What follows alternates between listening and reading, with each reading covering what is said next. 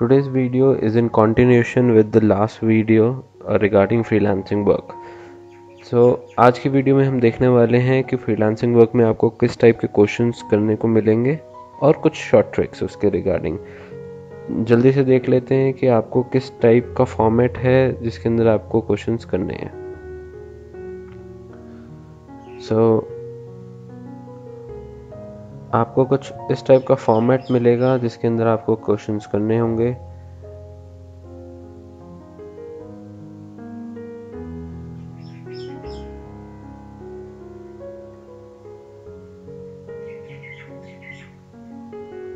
हम्म। तो ये आपका ब्लैंक फॉर्मेट हो जाएगा। Book meta book meta data होगा। इसके अंदर आपको बुक का नाम लिखना है तो मैं आपको बुक भी दिखा देता हूँ। बुक का नाम आपको कहाँ से मिलेगा? कुछ आपको इस टाइप की बुक मिल जाएगी। पीडीएफ के फॉर्म में। ये फिफ्थ ग्रेड की बुक है। सो बुक का नाम लिखना है।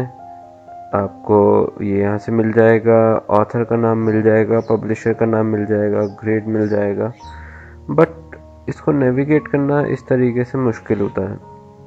तो उसके लिए एक शॉर्ट ट्रिक है जिसके अंदर आप स्क्रीन को स्प्लिट कर सकते हैं बाय विंडो और राइट की दबा के मैंने इसको ले लिया और विंडो और लेफ़्ट की दबा के आप इसको ले लिया। मैं आपको दिखा भी देता हूँ कि किस तरीके से कराइए सो so, ये आपका विंडो का सिंबल हो गया। आप इसको प्रेस करेंगे और अगर आप साथ में राइट की दबाया तो स्क्रीन पे जो भी आपका फ़ाइल है, वो राइट की तरफ़ शिफ्ट हो जाएगा और सेकंड फ़ाइल को आप क्लिक करें और विंडो और लेफ़्ट की दबाएँ तो वो स्क्रीन के लेफ़्ट की तरफ़ चला जाएगा। तो ये आपको हेल्पफुल हो जाता है एक ही टाइम पे दो काम देखने के लिए। सी आप जैसे कि देख पा रहे हैं। तो अब मैं इसको टाइप कर सकता हूँ बहुत ही आराम से। ट्राई आउट मैथ्स ये आपका हो गया बुक का नाम, पब्लिशर का नाम एस डॉट के खनूजा, ठीक है? सॉरी, पब्लिशर का नाम यहाँ यहाँ पर था। ये ऑथर का नाम है। पब्लिशर का नाम आ गया, ये आपका पब्लिशर का नाम आ गया इंस्पिरेशन पब्लिकेशन ब्रैकेट इंडिया ये आप वहाँ पे लिख देंगे ग्रेड यहाँ पर फिफ्थ हो गया बोर्ड हमें पता नहीं है लैंग्वेज आपका हो गया इंग्लिश बुक का क्या लैंग्वेज है? सब्जेक्ट हो गया mathematics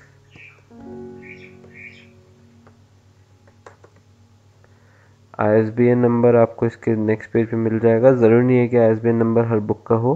जिसका होगा उसका लिखेंगे जिसका नहीं होगा उसका छोड़ सकते हैं। Nine seven eight dash nine three, ये आपको समझ में आ गया होगा तो मैं टाइम वेस्ट नहीं करूँगा इसके ऊपर। एडिशन यहाँ पे एडिशन लेटेस्ट एडिशन लिखा हुआ है तो आप लेटेस्ट लिख दें।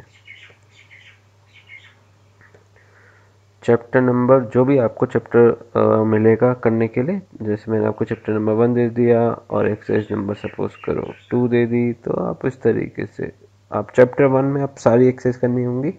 तो सपोज़ चैप्टर वन की आप पहले फ़र्स्ट एक्सरसाइज कर रहे हो तो ये meta book meta data fill होगा।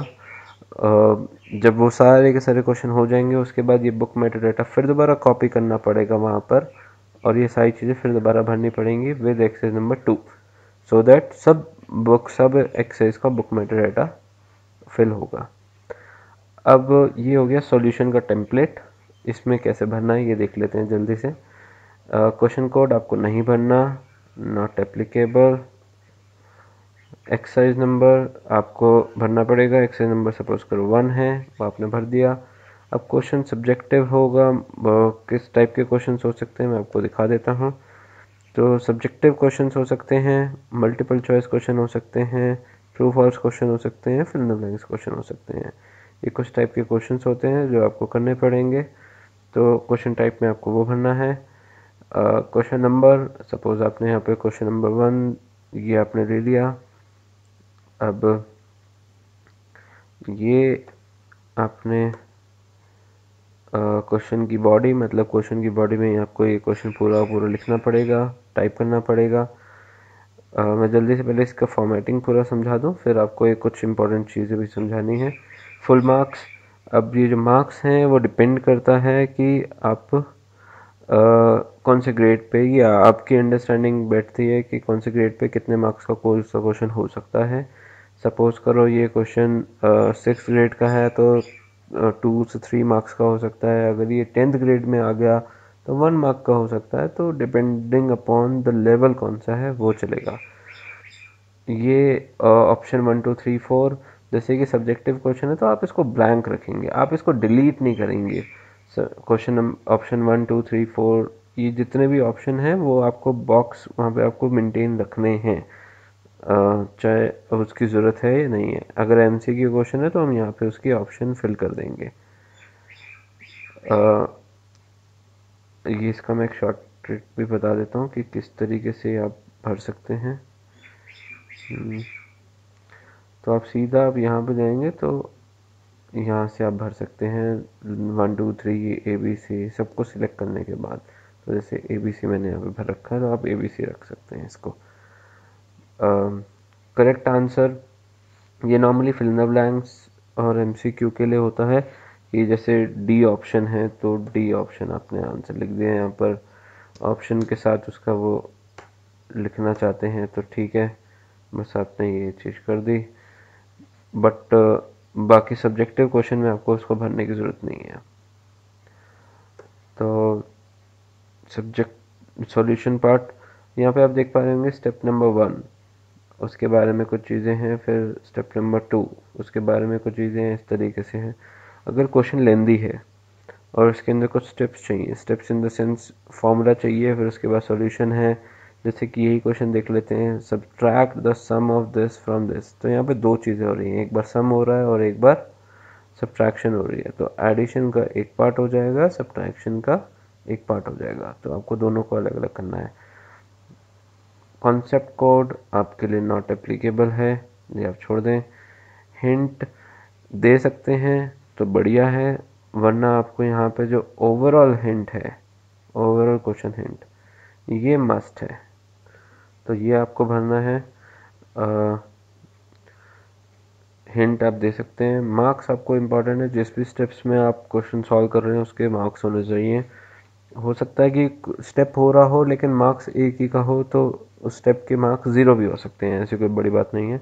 और किसी के स्टेप्स के 0.5 मार्क्स भी हो सकते हैं बट 0.12 इस तरीके से मत दो। 0.5 होगा वन होगा टू होगा थ्री होगा फोर होगा। तो नॉर्मली हम फोर तक ही जाते हैं मैक्सिमम तो फोर तक ही रखें। बट एक स्टेप के मार्क्स ज़्यादा मत करें। अगर ज़्यादा लंबा क्वेश्चन है तो उसको स्प्लिट कर दें। नेक्स्ट में आ जाते हैं स्टेप नंबर टू मैंने जैसे यहाँ पे भर दिए उसके बारे में concept code not applicable hint आप दे सकते हैं। ज़्यादा इम्पोर्टेंट नहीं है। अगर आपको लगता है कि ज़रूरी है बच्चे के लिए समझना उसको तो वो आप वहाँ पे दें। डिफ़िकल्टी लेवल इजी मीडियम और हार्ड तो आपको देखना है बच्चे के परस्पेक्टिव से, अपने परस्पेक्टिव से नहीं, कि इजी था मीडियम था या हार्ड था। तो इंस्टेड ऑफ़ राइटिंग पूरा इजी तो आप सिर्फ़ ई e लिख दें एम लिख दें और एच लिख दें। तो इजी है तो इजी हिंट मैंने आपको बता दिया हिंट कुछ भी हो सकता है, थोड़ा सा एक्सप्लेनेशन हो सकता है फॉर्मूला हो सकता है।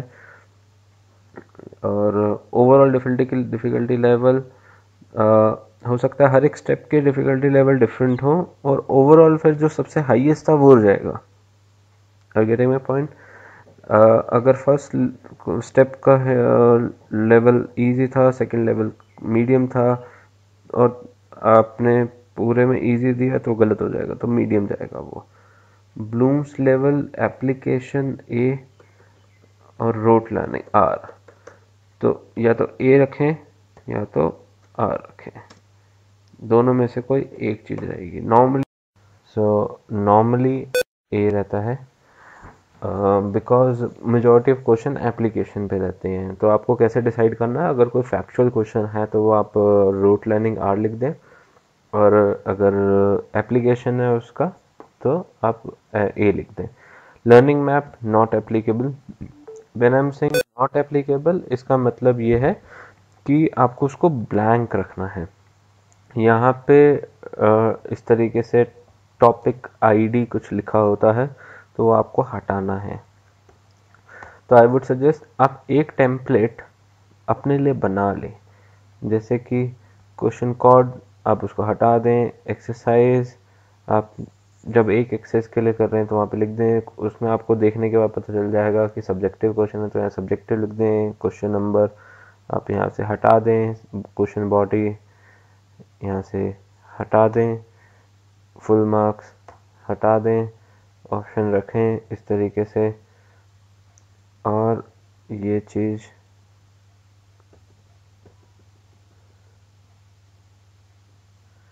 यहाँ तक आप हटा सकते हैं। ओवरऑल हिंट भी आप हटा सकते हैं। और ये आपका ब्लूम्स लेवल इजी पे आप रख सकते हैं एप्लीकेशन पे आप रख सकते हैं, और लर्निंग में आप हटा दें। तो ये आपका एक टेम्पलेट बन जाएगा जिसको आप कॉपी करें, इस तरीके से क्लिक करके, और एंड में शिफ्ट दबा के आप इसको कॉपी करें और जितने मर्ज़ी आप इसको पेस्ट कर लें नीचे, ताकि आपको बार बार उसके अंदर चेंजेस जो भी करने हैं, वो मिनिमम चेंजेस करने हो। एक और चीज़, यहाँ पे दो स्टेप तक दिखा रखा है। आपको अगर स्टेप्स ज़्यादा चाहिए तो आप इंसर्ट करें। यहाँ से भी कर सकते हैं, मैं शॉर्टकट से कर रहा हूँ। इंसर्ट का की दबाया इंसर्ट आ गया। और यहाँ पे इंसर्ट के बाद आपने आई दबा दिया, आप सीधा आई दबा सकते हैं। और नीचे चाहिए तो बी दबा दो बिलो तो ये नीचे एक उसके आ जाएगी। आई, देखें आप कितना जल्दी मैं कर पा रहा हूँ। आप देख लो, हर एक स्टेप पे कितने आपको वो चाहिए रोज चाहिए। एक, दो, तीन, चार, पाँच। एक, दो, तीन, चार, पाँच। ये आपकी पाँच हो गई। देखें, मैं इसको कॉपी करा। और यहाँ पे मैंने पेस्ट कर दिया। आ गया अब करना क्या यहाँ से आपने इसको स्टेप नंबर थ्री बना दिया। Three step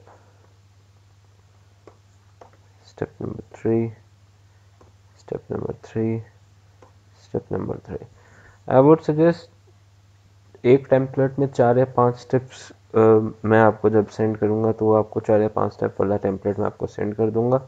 तो आप डिलीट मत करें उसमें से। रहने दें ब्लैंक रहने दें, जो भी स्टेप्स यूज़ हो रहे हैं वहाँ पे यूज़ करें और बाकियों को एज इट इज़ रखें। अब नेक्स्ट चीज़ पे आते हैं। जैसे कि आप देख पा रहे थे कि मैं जब इन नंबर्स के ऊपर आ रहा हूँ तो ये ब्लू हो रहे हैं। ये होना इंपॉर्टेंट है। अगर मैं इसको सिंपल तरीके से फाइव और सपोज़ प्लस थ्री लिखता हूँ, और जब मैं इसके ऊपर आऊँगा तो ये ब्लू नहीं होगा। लेकिन ये ब्लू क्यों हो रहा है? इसका रीज़न है, मैं दिखाता हूँ और एक। ये हो रहा है मैथ टाइप की वजह से। फाइव प्लस थ्री और मैंने स्पेस दबाया और ये लेफ़्ट में चला गया। तो इसके ऊपर आया तो ब्लू हो रहा है इस पर ब्लू नहीं हो रहा। तो ये एक टेस्टिंग है हमारी जब हम एज ए रिव्यूअर इसको टेस्ट करते हैं कि आपने इसको सही ढंग से लिखा है या नहीं लिखा तो हम यही देखते हैं इसके ऊपर कर्सर लेके जाते हैं और ये देखते हैं कि ये ब्लू हो रहा है या नहीं हो रहा। अगर ये ब्लू नहीं हो रहा तो सॉरी आपने क्वेश्चन गलत करा है मतलब मैथ टाइप में नहीं करा तो हम उसको एक्सेप्ट नहीं करते। आप इनिशियल स्टेज पे आप काम कर रहे होंगे तो उस पर तो आ, आ, मैं आपको सजेशन देता रहूँगा आपको फीडबैक देता रहूँगा। बट इन लॉन्ग रन अगर आप ये कंटिन्यूस गलती कर रहे हैं तो सॉरी ये फ़ाइल रिजेक्ट भी हो सकती है। बिकॉज़ ये इसका बेसिक uh, क्राइटेरिया है। जो मैथ टाइप है उसको मैथ टाइप में ही लिखना है। मैथ टाइप से मेरा मतलब है नंबर्स और इक्वेशंस लाइक इक्वल्स टू का निशान हो गया। ये मैथ टाइप में आना चाहिए। अगर आप ट्राइंगल एबीसी लिख रहे हो तो ट्राइंगल एबीसी एक मैथ की फॉर्म है तो ट्राइंगल एबीसी आपको उसको लिखना है। वेरेज अगर आप इसको मैथ टाइप में लिख देंगे तो भी गलत हो जाएगा। तो ऐसा नहीं है कि सब कुछ मैथ टाइप में होना चाहिए। जो सेंटेंस हैं, जो वर्ड्स हैं वो आपको वैसे रखने हैं। जो वेरिएबल हैं, उनको मैथ टाइप में लिखना है। इक्वेशंस हैं मल्टीप्लिकेशन का निशान है, वो आपको मैथ टाइप में रखना है। जैसे कि आप देख रहे हैं कि फाइव मल्टीप्लाई बाय थ्री कुछ लोग सोच रहे होंगे फाइव स्टार थ्री लिख देते हैं, चल जाएगा, नहीं चल पाएगा सॉरी तो इसको आपको मैथ टाइप में गए और इसमें फाइव और यहाँ से मल्टीप्लाई का निशान लिया और थ्री करना पड़ेगा। स्टार्टिंग uh, में आपको लगेगा कि बहुत टाइम कंज्यूमिंग है बट इतना टाइम कंज्यूमिंग नहीं है। ओवर द टाइम आपकी स्पीड बहुत अच्छी हो जाएगी और आप बहुत आराम से इसको कर पाएँगे। मैं अब इसको शॉर्टकट और लॉन्ग तरीका दोनों दिखा देता हूँ ताकि आप इसको आप कर सकें। अगर आप इंसर्ट में जाएँगे और सिंबल्स में जाएँगे तो इक्वेशन आ जाता है तो ये फॉर्मेट आ गया आपका मैथ टाइप का मैथ इक्वेशन टाइप का। तो इसके अंदर आप कुछ भी फाइव मल्टीप्लाई थ्री कुछ भी लिख सकते हैं। अगर आपको इसको फ्रैक्शन में लेना है तो आप ये फ्रैक्शन में जा सकते हैं। कौन से टाइप की फ्रैक्शन चाहिए, वो भी मिल जाएगा। तो इसको आप फाइव थ्री फाइव कुछ भी आप इसको डाल सकते हैं। इक्वल्स टू जो आंसर है वो आप इसको सॉल्व करके लिख दें। मैं अभी रैंडम नंबर्स डाल रहा हूँ। अब इसका ऑटोमेटिक फॉर्मेट होता है कि सेंटर पे आना सेंटर पे। लेफ़्ट में चाहिए हमें इसको। तो इसके बाद जैसे आप इसको एरो की लेफ़्ट लेंगे तो ये इक्वेशन फॉर्मेट में आ गया राइट लेंगे तो इक्वेशन फॉर्मेट से बाहर आ गया। आप स्पेस दबाएँ। स्पेस दबाएँगे वो लेफ़्ट में चला जाएगा ऑटोमेटिकली तो आपको उसकी चिंता करने की ज़रूरत नहीं है। आप एंटर दबाएँ। अगर आपको और लिखना है और और एक बार मैथ टाइप की इक्वेशन चाहिए तो आप फिर दोबारा वही प्रोसीजर कर सकते हैं। ओके अब मैं इसका शॉर्टकट बता रहा हूँ आपको बिकॉज़ शॉर्टकट जानना बहुत इंपॉर्टेंट है अदरवाइज़ प्रॉब्लम हो जाएगी। बहुत टाइम लगेगा आपको और आप इरिटेट हो जाओगे। सो so, um, ये है इसका शॉर्टकट आप ऑल्ट और प्लस और इक्वल्स टू का जो निशान होता है बैक स्पेस के साथ वाला, आप दोनों को दबाएँ पहले ऑल्ट और फिर ये मतलब ऑल्ट को दबाए रखें। मैं फिर दोबारा करके दिखा देता हूँ। ऑल्ट और ये दबाया, ये आपका मैथ टाइप ऑटोमेटिकली आ गया। उम्मीद करता हूँ समझ में आ जाएगा ये। और चिंता की ज़रूरत नहीं है, अगर कोई दिक्कत होगी तो वी आर हेयर आपको जो भी डाउट हो वो मैं साथ के साथ एक्सप्लेन करता रहूँगा। हो सकता है कुछ चीज़ें मिस हो गई हों मुझसे बट मेजॉरिटी ऑफ़ चीज़ें मैंने बता दी हैं इसके अंदर। आगे नेक्स्ट पे चलते हैं। हाँ ये देखें नंबर्स बीच में 11 है तो मैंने इसको मैथ टाइप में लिखा हुआ है। तो लास्ट हम्म, एक चीज़ और बतानी थी। अब जैसे कि ये इमेज है अब मुझे इमेज चाहिए। अब मैं ड्रॉ करने में दिक्कत हो रही है। तो गूगल करें आप उसको जहाँ से मर्ज़ी आप इसको ले सकते हैं कोई इशू नहीं है। और एक टूल होता है स्निपेट और वो हम्म, ये मैंने N C R T N C R T dot nic dot in पर गया और उसमें पब्लिकेशन में गया P D F one two twelve में गया। तो ये इस टाइप का कुछ आ जाएगा। यहाँ से आप क्लास सिलेक्ट करें। सपोज़ करो मैंने सेवन्थ ग्रेड सिलेक्ट करा। मैथमेटिक्स सब्जेक्ट और मैथमेटिक्स ये। और ये मेरे पास ये आ गया सेवन्थ ग्रेड का। यहाँ से आपको जो चैप्टर का देखना खा देता हूँ तो। ये चैप्टर आ गया मेरे पास। और अगर मुझे ये बॉक्स चाहिए क्यूब चाहिए तो एक स्निपिट टूल आता है जिसको मैं यूज़ कर सकता हूँ। मैं आपको बता देता हूँ किस तरीके से उसको हम यूज़ कर सकते हैं। तो मैं इसको इसका शॉर्टकट की बता रहा हूँ। ये इसका शॉर्टकट की है। आ, आप विंडो शिफ्ट और एस दबाएँगे इकट्ठा तो आप उसको स्नैपेट कर सकते हो। मैं इसी को स्नैपेट करके दिखाता हूँ। कंट्रोल शिफ्ट और एस आपने देखा होगा कि स्क्रीन के ऊपर ये चीज़ आ गई। तो नॉर्मली हम ये यूज़ करते हैं। अगर मुझे इसको स्नैप करना है तो मैं इसको स्नैप इस तरीके से कर लूँगा। करने के बाद, एक बार करके देखते हैं। मे भी रिकॉर्ड हो रही है स्क्रीन इस वजह से वो स्निपिट नहीं चल रहा। स्निप आप करेंगे तो यहाँ पर आपका लेफ़्ट राइट साइड पे वो इमेज दिखाएगा, उसको आप क्लिक करेंगे। उसमें सेव का ऑप्शन होगा आप सेव कर सकते हो कि क्या आपके शॉर्टकट्स हैं और क्या चीज़ मस्ट है इसके अंदर डालने के लिए। सो so, कोई डाउट हो तो आप मुझसे आप मेल पे पूछ सकते हैं। जो मेरा मेल आईडी है वो है learning math with fun at the rate G mail dot com आप यहाँ पर आप मुझे मेल करके पूछ सकते हैं और अगर आप इंटरेस्टेड हों तो आप मेल कर सकते हैं। सारे के सारे फॉर्मेटिंग लास्ट वीडियो में मैंने आपको बताई थी तो आप वहाँ पर जाके आप देख लें। Thank you for watching see in the next video